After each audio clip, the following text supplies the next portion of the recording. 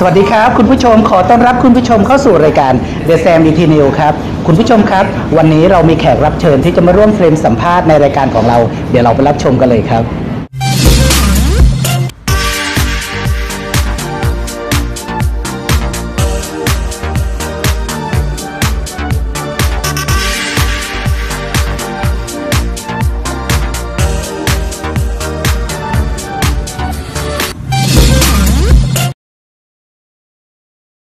รง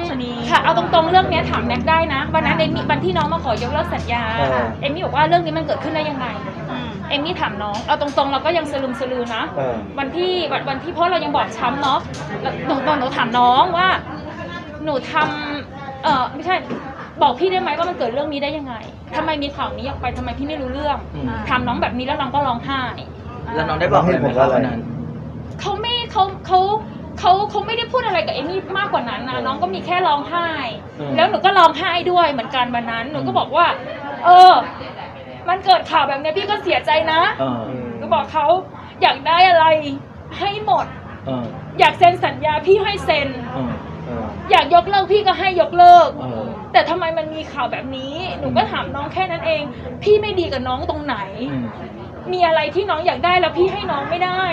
น้องอยากเล่นซีรีส์วาย พี่ก็ทำซีรีส์วายให้ เออแต่วันเนี้ยน้องอยากยกเลิกสัญญาเพราะน้องบอกว่า มีสองบริษัทติดต่อน้องมา อืมเออจริง ๆ ถ้ายกเลิกสัญญา น้องต้องจ่ายให้เอมี่ห้าแสนบาท เออ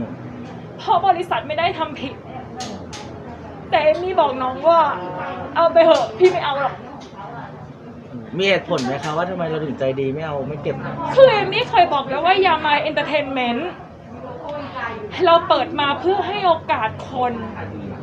คนที่หลาย ๆ คนที่อยากจะเป็นดาวแต่เป็นไม่ได้ เพราะเขาไม่มีโอกาส อืมเอมมี่แม็กซิมคนนี้กว่าจะเอมมี่มาเป็นกว่าจะมาเป็นเอมมี่แม็กซิมได้เอมมี่เจออะไรเยอะมาก อืมเอมมี่โดนทั้งดูถูกทั้งอะไรเยอะแยะมากมายไปหมดจน มียามา Entertainment เราอ้าแขนรับทุกคน เอมมี่พร้อมที่จะพัฒนาคนให้เป็นคนและเป็นดาว อืม ถ้าคุณอยากให้เอมมี่พัฒนา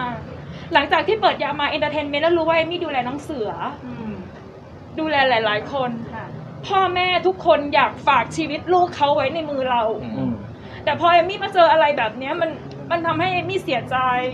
ถามว่าโกรธน้องไหมไม่โกรธแต่แค่เสียใจกับสิ่งที่เราให้น้องมาแค่นั้นเอง และถ้าวันนี้น้องเห็นคลิปนี้ ขอแค่ให้รู้ไว้ว่าพี่เอมมี่เสียใจเลยไม่ต้องไปทำคลิปอะไรให้มันต่อยอดไปจากนี้แล้ว มันจบแล้วอืมวันนี้พี่ก็ขอพูดในฐานะของผู้จัดและผู้บริหารยามา